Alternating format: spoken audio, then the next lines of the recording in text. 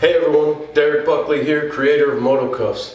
Go grab a beer and I'll show you the easy, fast way to roll your sleeves with my product, Moto Cuffs. Now that you grabbed your beer, go ahead and grab your Moto Cuff. First thing you're gonna do is measure your bicep with the plastic. Wrap it around your arm where your sleeves would normally lie, but make sure you have it loose enough to where you can slide it off your arm just like so.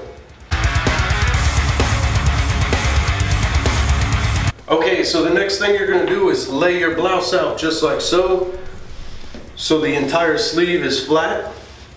And then the next thing you're gonna do is take that moto cuff and you're gonna slide it over the sleeve just like so, leaving about three inches between the moto cuff and the edge of the blouse just like so.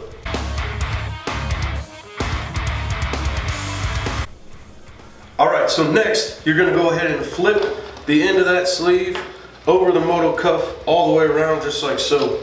It's important that you make sure that the end touches all the way around of that wonderful moto cuff, just like that.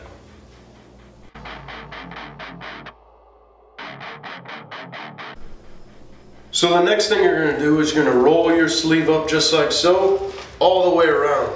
I need you to ensure that you start on one side and then follow it all the way around until it pops into place.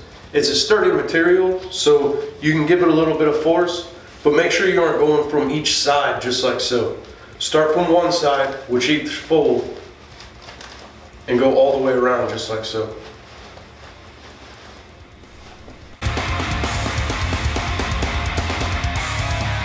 All right, after your third roll, you're gonna find the inseam that runs along the armpit of your blouse right here. Next, you're gonna fold that inboard, just like so, and you're gonna take the slack out all the way around your moto cuffs, just like this. Now, once you get the excess, you're gonna pull that into the crease that you developed on the inside inseam.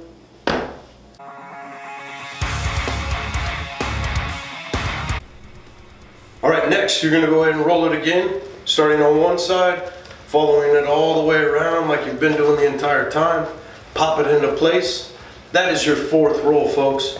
Next, you're gonna find that inseam again, do the exact same thing you did last time.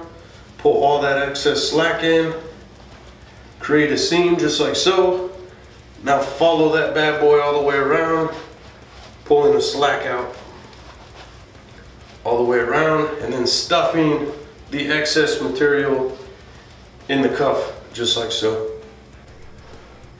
All right, so this is gonna be your fifth fold, the last and final fold that needs to be the sexiest fold. Go all the way around just like you've been doing. I like to uh, roll mine a little bit high. So I like to cut that pocket in half just like so. But like I said, it's the last and final roll. So we need to dress this thing up. We mean to make it look sexy. So again, take all the slack out, follow it all the way around, flatten everything out, and again, put all that excess into the cuff that you created.